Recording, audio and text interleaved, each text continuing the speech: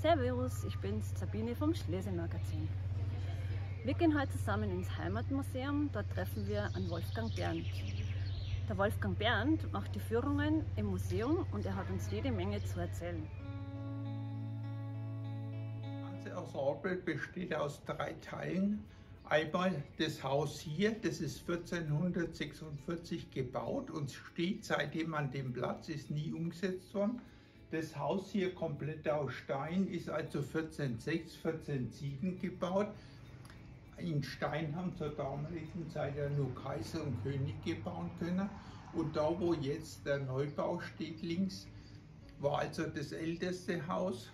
Da gibt es also nichts mehr davon. Das ist weggerissen worden 1931.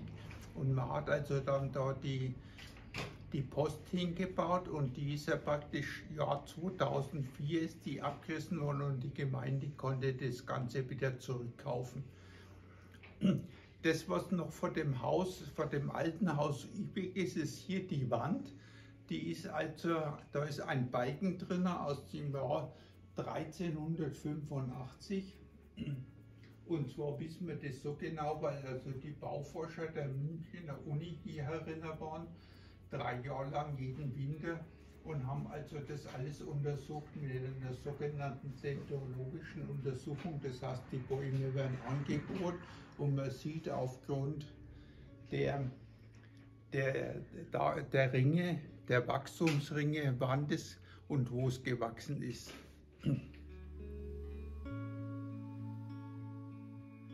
Das ist also ein Kammertwagen, den bekommt die Braut als Mitgift mit.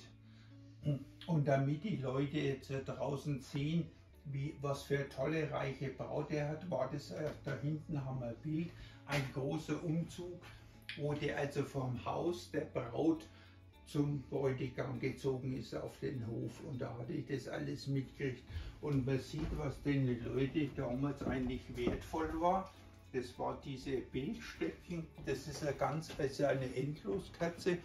Und der Mitte eine sehr lange Kerze und damit die nicht bricht, hat man die also aufge, aufgefädelt zu einem Buch, zu einem Block, damit man es hinstellen kann und hat das Ganze dann noch entsprechend verziert. Das ist also jetzt unser Quantraum mit den Trachten.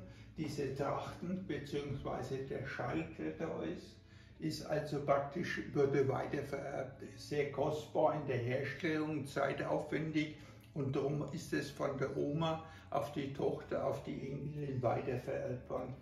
Der Schalk ist wie jetzt auch nicht auf den Körper geschnitten, sondern er wird also praktisch an den Körper angesteckt. Das heißt, sowas anzuziehen dauert eine Stunde und äh, es braucht also eine Unterstützung. Was wir da jetzt bekommen haben, ist also die, das Original wieder von der Fischerliesel, das ist da links in der Mitte drin. Mit dem hat die den König über den See gerudert. Und die Frau Amann hat uns es gegeben, weil sie sagt, also ihre Jungen können damit nichts anfangen, nehmt es mit ins Museum. Und das ist also auch so, wie das langsam äh, wächst. Wir haben vorhin, das ist also jetzt eine etwas einfachere äh, Modellpuppe.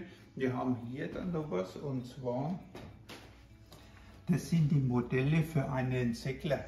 Es gab aber keine Läden, also hat der praktisch eine kleine Lederhose, Strümpfe dabei gehabt und Schuhe und hat gesagt, sowas kann ich dir machen und dann ist es also gemacht worden.